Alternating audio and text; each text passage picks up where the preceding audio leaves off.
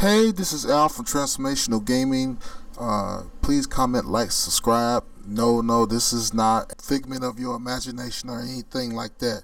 No, this is Al doing a video. um, but today, uh, I felt compelled to do this video. and by the way, please comment, like, subscribe. But I felt compelled to do this video because if you follow me or whatever, or you get a hold of this video, you know that I'm on Twitter and I come in contact with a lot of different people on Twitter. And one of the people that I love to come in contact with is some of the dudes from Digital Foundry. I love their work. I think they do great work for the channel, and specifically John Linneman because he's a retro guy, and I'm a retro guy as well. But one of the things about retro is that some things were made to stay in the past. they were not made to come back and haunt us like a, a ghost or Jason Voorhees or whoever, right? Uh, some things they live, they come out, they die. Meaning that they have their time for being in the market and they have what they call a life cycle meaning that they have their time in the sun for a certain amount of time. They get sold, they get popular, right? Products I'm talking about, they get popular, they have their time on the shelves, and then guess what? The end of their life cycle comes, and something else come out that's much much better to replace them. And fortunately or unfortunately, however you look at it, right? These things has happened for CRTs. This life cycle has happened for CRTs. CRTs started te- television, right? Television started out as an offshoot for radios, right? So they started off as an offshoot for radios, and then they wanted to be able to deliver the news where you can actually watch the news, right? And so this all happened in uh, 19 uh, 1899 right or 1900 now we're not going to go back that far on cathode tubes but let's just say around the 80s and 90s these things called video games came out right? These televisions were not made for video games, okay? The whole cathode ray technology, CRTs, those were not made for video games. So, with that being said, we have the advent of LCD technology. Now, without going into when LCD were made, as LCD technology has become more prominent, video games were definitely made in mind. Not only video games, but movies, home theater technology. All this stuff was brought to mind as the technology for LCDs has become more of a in vogue product, right? Because at the end of the day, that's what all this is. It's nothing but product. okay?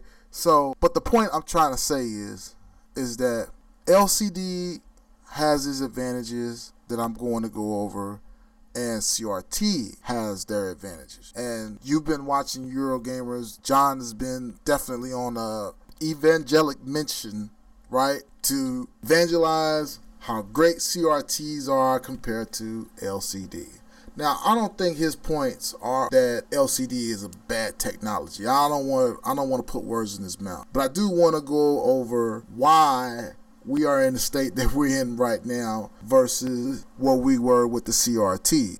So why move away from cathode ray tube? And why did the advent of LCD become so popular? Well, the fundamental issue is clarity. Clarity is the biggest issue with cathode ray tubes. The real issue is that man, you had all type of distortion coming from the inputs, even from high bandwidth products like coaxials. Coaxials were like notorious for having ghosting image and image and color bleeding. Those issues were very prominent on the CRTs or the tube televisions as they call it nowadays. And we know that other products exist like the CRTs for arcades and some of the computer monitor CRTs but those were like 1% of the CRT market as a whole.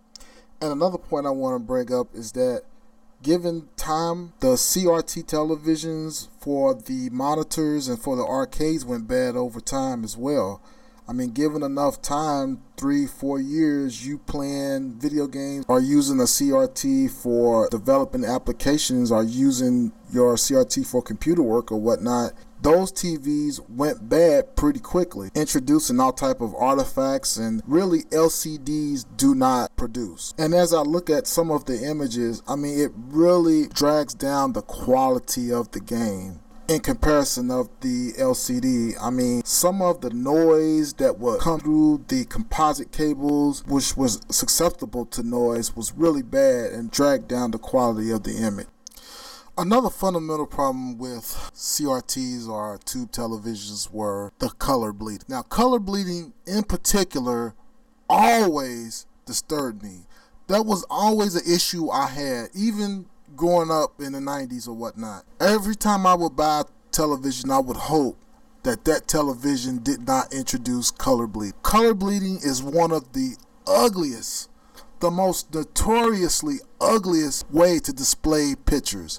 Now I know again the traditional CRT, RCA type of televisions, computer monitors, did not have this as bad. But with the advent of LCDs, this has all been but mitigated, especially with OLED televisions and other type of LCD technology. Yes, I know that there are other issues with LCD and I'm going to talk about them real quick, but to me, this is a deal breaker. Any product that introduces these ugly artifacts, these are not just artifacts.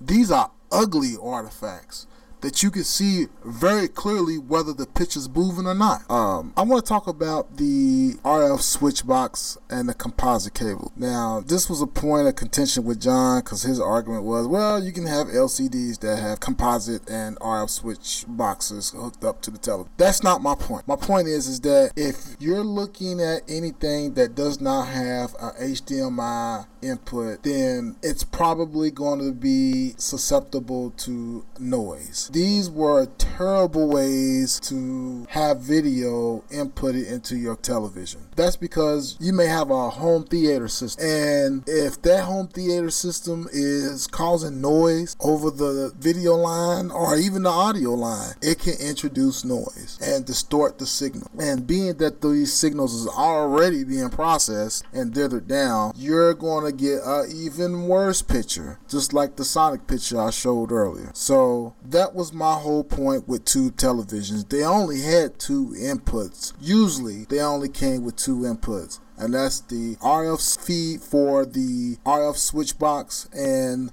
they came with the composite input for the RCA cable. And those were technologies that needed to be improved upon, and they have been.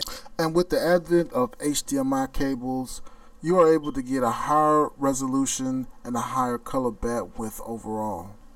Now, am I saying cathode ray technology is all bad? No, absolutely not. Cathode ray is basically how most of us got introduced to gaming. And with that being said, yes, there are some great things about cathode ray. You don't have to really worry about resolution like you do with LCDs because they're not pixel based, right? Also, the motion blur is hardly there.